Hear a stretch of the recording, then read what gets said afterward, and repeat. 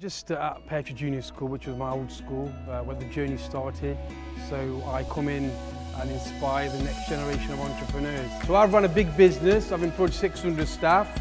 I also do some work for the Prince's Trust. So in 2013, I was honoured for my work. I went to Buckingham Palace and I met Prince Charles. What a great question here. How old was I when I first started the business? That's a great question. So I went to university, so I was 21. I, I did a few jobs.